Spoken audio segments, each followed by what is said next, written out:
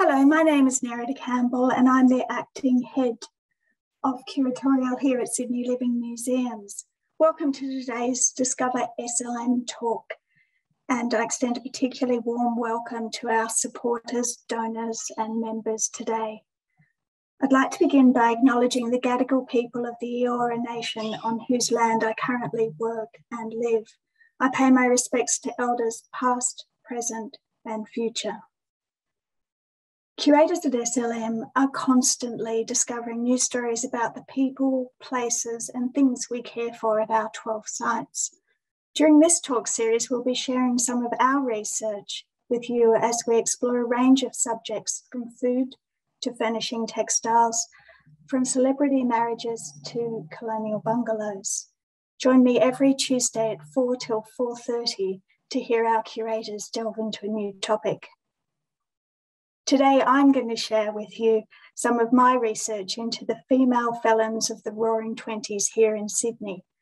I've worked as a curator for over 20 years, much of that time here at Sydney Living Museums, and I spend most of my time researching the darker and more obscure histories of Sydney and indeed wider New South Wales.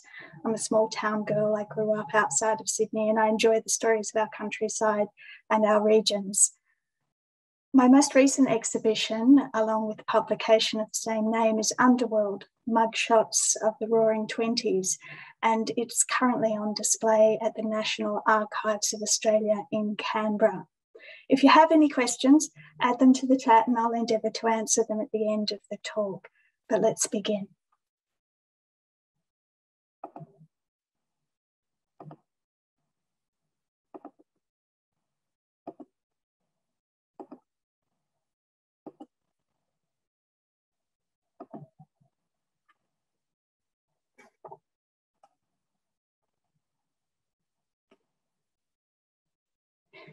The Justice and Police Museum in Sydney is the custodian of the New South Wales Police Forensic Photography Archive, some of which you see on your screen now, which contains over two and a half thousand images of suspects in police custody during the Roaring Twenties, which have become known as special photographs. These glass plate negatives of the inhabitants of 1920s criminal underworld here in Sydney have been repackaged now in archivally sound paper and scanned and preserved for future generations. All of the images that I'll be showing you today are from this collection unless otherwise identified. Here are some of them in their original boxes and in their repackaged boxes. They are an incredibly valuable source of information about female criminals whose stories can sometimes be neglected as being too dark, too inconsequential for serious study. But it is these very stories that help us understand the era in its entirety. The choices women made, the difficulties they encountered, and the nefarious opportunities they greedily embraced all give us an opportunity for a richer, more nuanced understanding of this period of history. These images show us that women in the 20s weren't all just immaculately dressed while dancing the Charleston and having good times. For some, there was a much, much darker reality.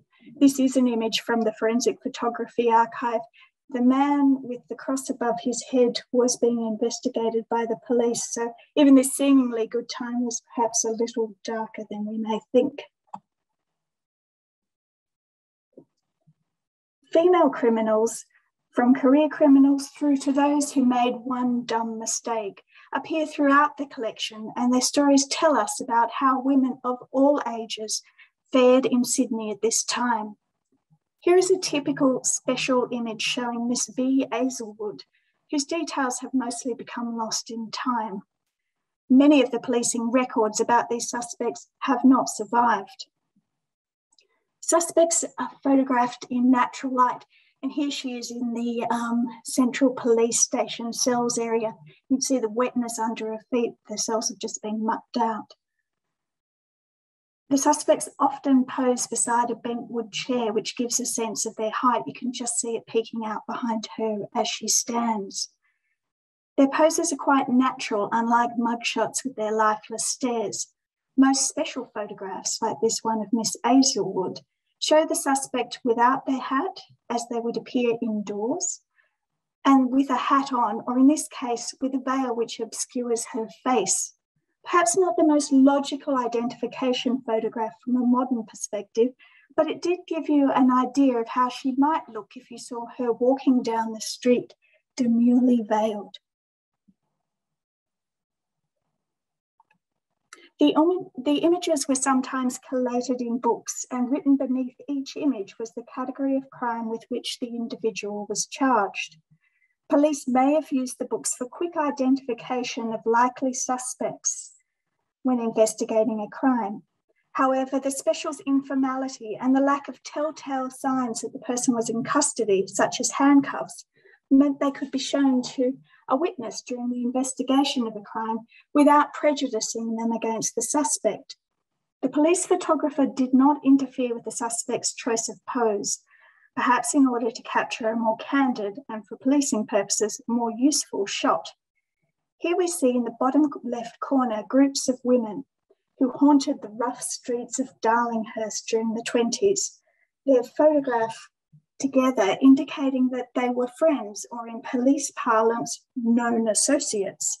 These images give insights into the social side of these women's lives, not just their criminal lives. This is Liverpool Street in Sydney, with the infamous pub, the Tradesman's Arms, in the distance on the corner of Liverpool and Palmer Streets. This is a landscape many of the women we will meet today were intimately familiar with.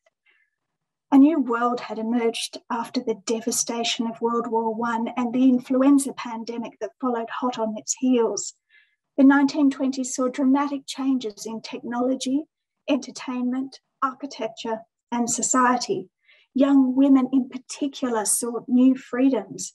Movies began to influence the way people lived, and technological developments, such as those leading to the mass manufacture of the motor car, improved the lives of millions. Change brought opportunity, and criminals found ways to cash in on developing illegal markets. Police forces, their numbers reduced by war, were caught on the back foot. Their work was made harder by the fact that the laws didn't always keep up with the pace of criminal evolution. Some women also found themselves deserted by husbands who returned from the war changed men and needed to find ways to support themselves in this rapidly changing world. Some turned to crime. The 1920s was a tough time for police and an era full of opportunities for entrepreneurial types, including some women. As transport options improved, the middle classes moved away from the centre of city, leaving these leaving suburbs of multi-level terrace housing to fall into disrepair and disrepute densely populated Surry Hills became Sly Grogger Kate Leigh's heartland. Brothel Madam Matilda Tilly Devine dominated the slums of East Sydney. Both women rented and purchased these dilapidated terraces in order to run their sex and illicit alcohol businesses. They're also unique in Australian and international criminal history as being two women who dominated the criminal underworld on their own terms. Matilda Tilly Devine was a, one of a handful of women who took advantage of the opportunities provided post war, in her case, controlling Sydney's inner city sex trade. Arriving in Sydney as a war bride in 1920, Tilly built an empire in Darlinghurst and East Sydney. She rose from being a sex worker on the streets surrounding Darlinghurst to becoming a brothel madam, running many businesses which catered for clientele ranging from factory workers to rich businessmen. One aspect of Tilly's criminality that I personally find intriguing is her penchant for violence. She was married to James, Big Jim Devine, an ex soldier with a well earned reputation for violence, who was also very, very handy with a gun. She, however, did not rely on her husband to settle her disputes with women or even, more intriguingly, with men. This image is not a special photograph, but is one of a series of negatives belonging to the State Reformatory for Women at Long Bay, which also forms part of the New South Wales Police Forensic Photography Archive. It was taken after she was sentenced to prison for a malicious assault on a man in Darlinghurst. Tilly attacked him with a cutthroat razor, a favourite weapon of the underworld at this time. Indeed, it was so prevalent in Darlinghurst that the suburb was nicknamed Razorhurst by the media. The assault was so frenzied that the victim was left with part of the blade in his hand and with reduced mobility in that limb for the rest of his life. On another occasion, she attacked her local butcher with a knife which she held to his heart after he refused to give her a refund for some meat she'd purchased, but which she considered to be substandard. Tilly was also legendary for her use of foul language, and even the male denizens of the underworld were shocked by her fluent and inventive use of swear words, which she unleashed on all occasions, even in court.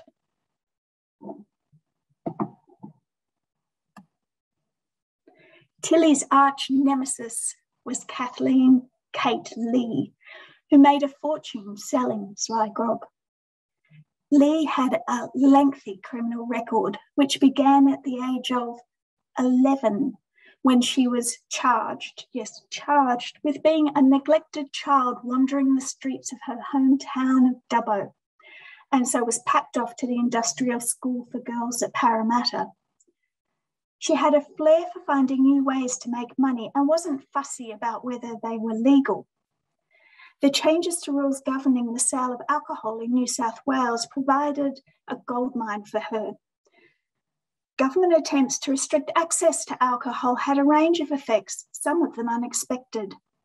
For example, the prohibition of alcohol in America in 1920 had disastrous effects, turning previously law abiding citizens into criminals corrupting police, and strengthening organised crime groups. A slightly less severe effect was felt in Sydney, where pressures from temperance groups during the war led to a restriction on the sale of alcohol after 6 pm. Sly grog, alcohol sold illegally, was a major policing challenge and a very lucrative opportunity for entrepreneurial women like Kate Leigh, who built an empire on crates of illicit grog a relentlessly dangerous woman, she became the most powerful sly grogger in Sydney who shot, stabbed, or slashed anyone who threatened her profits. This image of Kate is a very interesting one. She is dressed in a beautiful dress with a dodgy hem she hasn't bothered to repair. And each of her fingers is adorned with a precious ring. They almost look like a knuckle duster or brass knuckles. The inscription under her name, Kay Leigh, is D94, which indicates this is a drugs bureau image. It wasn't until 1928 that a dedicated drugs bureau was set up in New South Wales Police, and only two officers were initially assigned to it. The recreational use of cocaine diverted from approved medicinal uses became a major issue across the globe it particularly appealed to young women and inner city toughs looking for a buzz. Cut with toxic chemicals such as borax, it caused numerous health problems.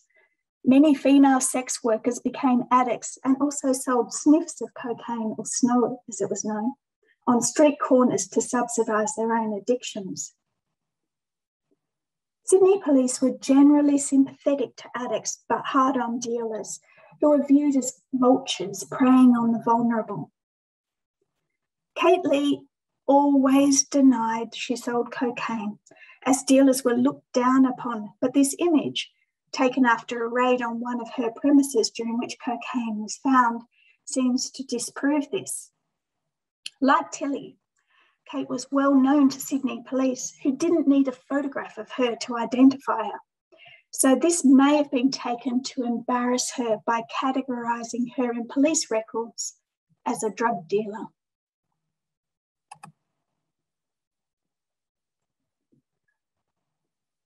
One woman who suffered greatly as a result of her cocaine addiction was petty criminal Amy Lee, pictured here in 1929, aged just 43. The horrors of cocaine addiction were recognised in the media, on the silver screen, and literature is captured in this excerpt by Australian poet Kenneth Slessor. Lee was a cocaine addict who lived in Little Riley Street, Surry Hills. When she was arrested and had this photograph taken, cocaine and morphine were found in her possession. Detective Wickham of the New South Wales Police Drug Squad spoke up for her in court and told of a previous encounter with Amy, who he had known for around 15 years. During this encounter, cocaine was found in her home alongside a bottle containing a preparation she said she'd received from a Chinese herbalist, which contained opium. She said she was going to use this opium tinged liquid to wean herself of cocaine, which had ravaged her body.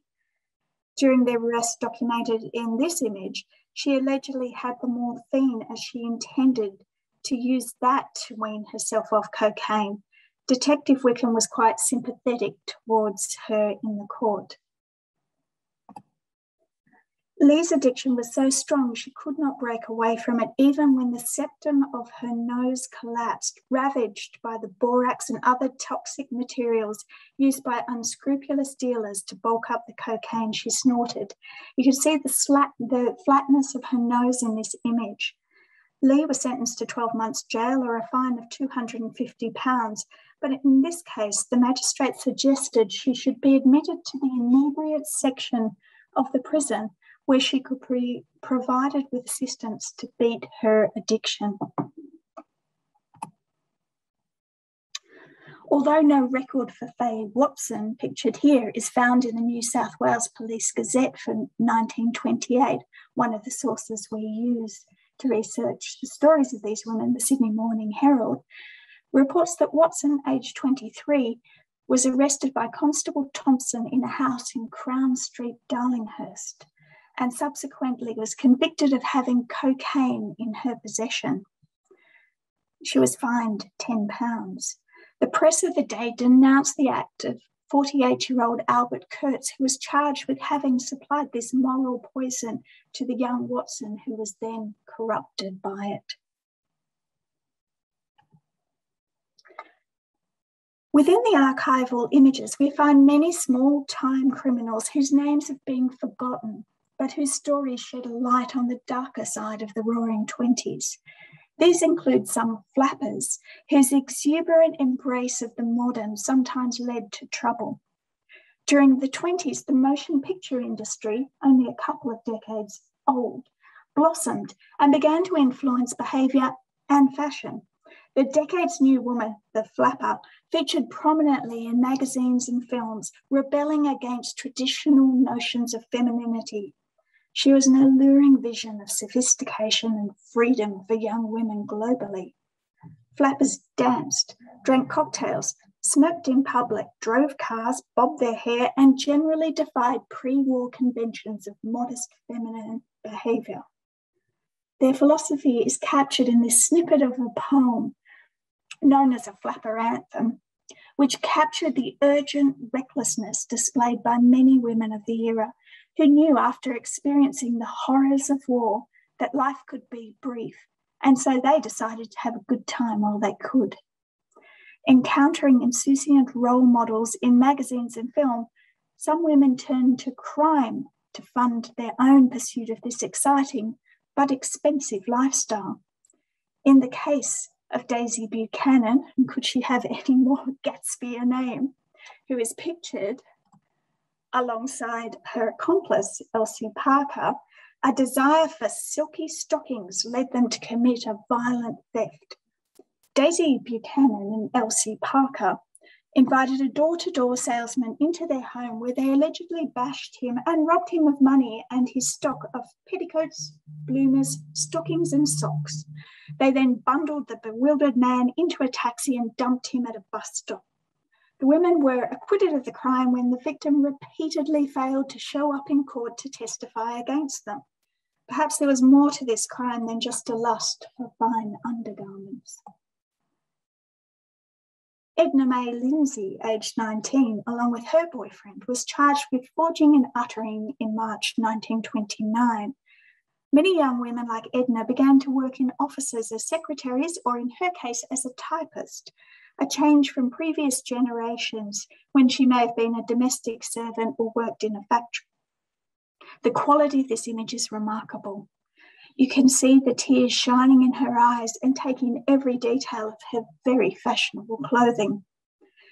Edna took a blank cheque from her employer and filled it into the value of £310, quite a lot of money at that time, apparently under the influence of her boyfriend, who was described in the media as a lounge hall lizard, a young man who spent too much time at the city's dance halls.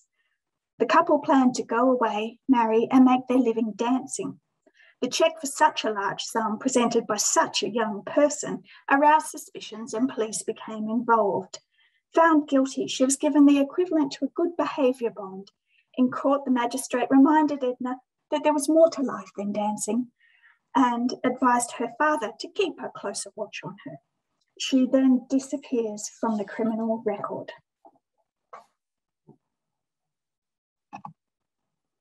Our final shady lady is Olga Catherine Anderson, aged 29, who was convicted on the charge of blackmail for her role alongside Frank Arnold, aged 30, a musician, in the blackmail of Percival Hipgrave, a journalist from Armidale.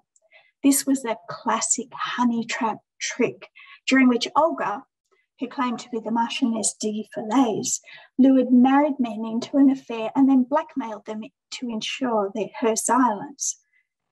She worked the scam with Frank Arnold, who pretended to be her husband. He would approach the male victim and claim the affair was wrecking his wife, Olga's happiness and then demanded money to soothe his outrage and ensure the victim's wife didn't hear of the entanglement. We can't know how many victims Olga had, but on this occasion, she was given the equivalent of a good behaviour bond while her male partner in the scam was sentenced to three years hard labour. The disparity in sentencing came down to the court's belief that Olga was the tool of her male co conspirator, although there is nothing on record that shows she was deficient in cunning. But as a woman, it was simply believed she would have been the manipulated, not the manipulator. These fascinating images created by the police photographers show us the criminals, but not their victims. It can be easy to slip into a nostalgic, benign view of these images, but research using newspapers, police records, and the State Archives collection attempts to provide some objectivity by linking these sometimes jovial, jaunty, and desirable mugshots to crimes that affected real people, sometimes with devastating consequences. Newspaper reports tell us the stories of some of these women's victims, from beaten up rivals to pensioners who lost their life savings, and of course, police who were badly injured when arresting suspects. A hundred years after their creation, these intriguing images give us a glimpse into a Sydney lost but not forgotten, and remind us of the dark side of the glittering, roaring 20s. Thank you.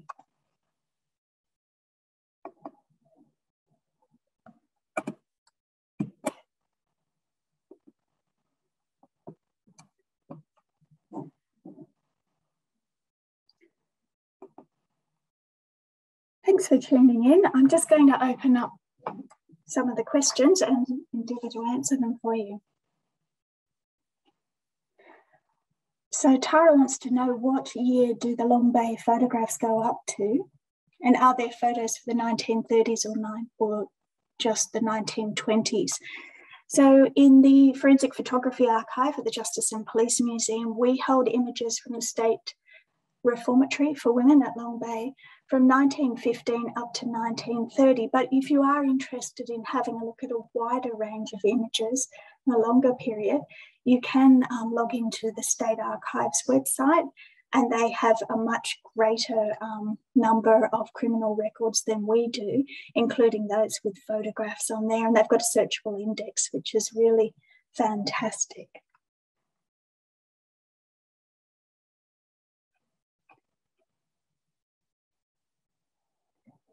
Now, Yu Yi has asked, were there conditions unique to Sydney which allowed these women to rise to the top of the inner city underworld? I don't know if it was the conditions in Sydney. I think that we just had some particularly unique women in um, Kate Leigh and Tilly Devine. They were women who were ambitious, who were entrepreneurial, who had a good head for business. They used men to help them run some of their enterprises. So they had men who were running the sly grog shops who provided protection for their um, brothels and other businesses, but they actually made their own decisions. And if somebody crossed them, they would take action themselves, as we can see from Tilly's criminal record and Kate Leigh's as well. So I think they were just remarkable individuals, and to survive in Sydney's underworld during the 1920s, they had to be.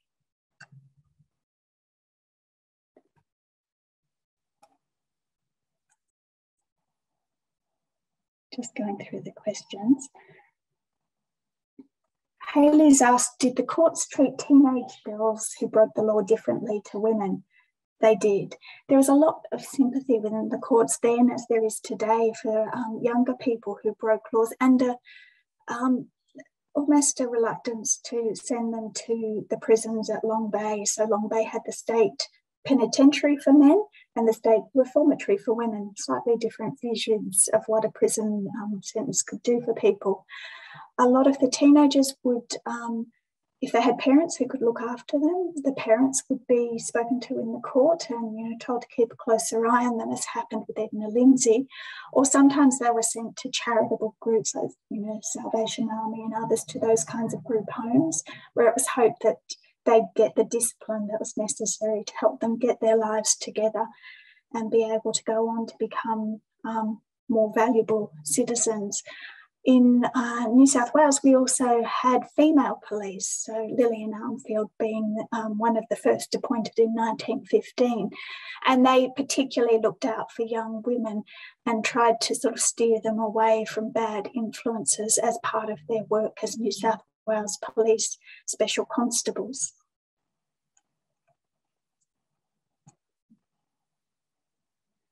Barbara wants to know, did the two ladies ever meet? So Kate and Tilly, they did indeed. They were renowned for the brawls that they had on the streets of Sydney. They would actually um, have fist fights. After a while, they realised, along with some of their male competitors over the sort of inner city vice and drugs and alcohol trades, that fighting was bad for business. It drew police attention, it was a danger to the public, which meant the politicians were also focused on it. So Kate and Tilly actually staged for the newspapers one time a make-up ceremony where the two of them are shown kind of hugging each other. It kind of looks a little bit like a headlock on, on the part of Kate Leigh, but they did they did stage that kind of photograph to show that they were actually okay and that they were friends with each other one of the factors that helped them was that Kate was really very much into the sly grog trade. Tilly was into the sex trade. It was only when it came to cocaine and their attempts to sort of carve out turf to sell cocaine that they came unstuck and began to fight with each other.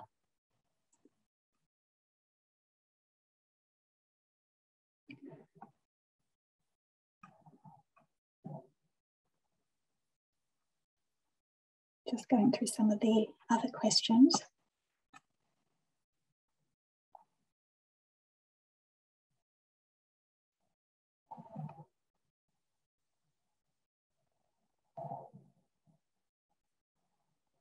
So Jackie's asking um, that uh, Jackie is saying there's such evocative photographs I'm sure there's a huge interest in the fashions of the day. Has anyone made colorized images showing the clothing the women wore?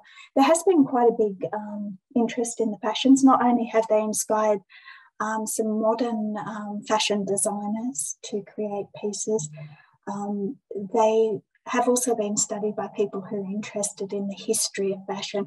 And that's been really interesting because we can see um, how Australia was often, you know, a season or two seasons behind what we were seeing in America and Europe at that time. One of the things that I always find fascinating about the fashions is that women in hot, humid Sydney were wearing fur coats because that's what they saw on the silver screen, luxurious minks and furs being worn by flappers in New York, where you know the cold weather sort of justifies it.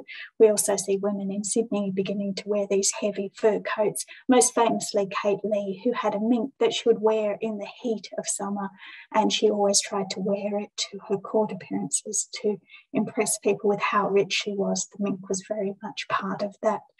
Um, that persona that she liked to adopt in public.